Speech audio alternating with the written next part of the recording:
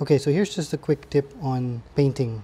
When I'm painting a flat surface like this, so I'm currently painting some shelves para sa cabinets. So you have a few options. You can use this cloth type of roller, you can use a paintbrush, or you can use a sponge type of roller. So I prefer a sponge. I just feel mas even and mas smooth ang application kapag sponge.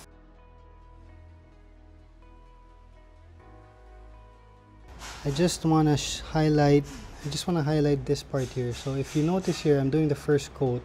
You see na may mga gaps where hindi na papatungan ng pintura. Doesn't matter how much paint you put on your roller, but what happens is when you roll over yan.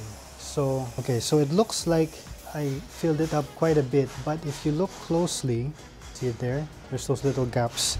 So here's just a neat trick. If you use a sponge roller, you, typically the tip has a lot of paint. And what I do is I just do this. I just mix it up like that, or I just color it in like that. And that usually fills in the gaps. Now you might say, but then you've got that ugly pattern going on.